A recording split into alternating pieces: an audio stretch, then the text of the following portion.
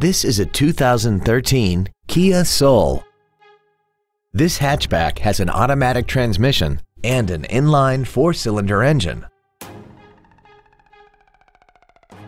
Its top features include a navigation system, a sunroof, heated seats, XM satellite radio, alloy wheels, and a tire pressure monitoring system.